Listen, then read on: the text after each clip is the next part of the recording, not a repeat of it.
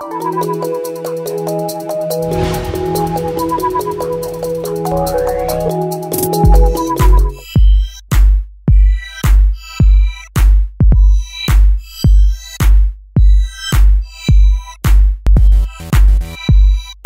sou Carolina Cordeiro, estou apresentando uma exposição aqui no Memorial Minas Vale, no programa de exposições. E o programa nos deu essa, essa possibilidade de fazer uma exposição muito estruturada, com um apoio técnico e eu acho ótimo uh, essa possibilidade de estar na, nos eventos do museu. Eu acho muito agradável e a gente acabou de ter um bate-papo sobre os trabalhos da exposição com o Eduardo Jesus, que é quem está na coordenação do programa de exposições. Foi ótimo, teve uma discussão muito interessante que partiu da exposição dos meus trabalhos, mas foi para além dos trabalhos daqui.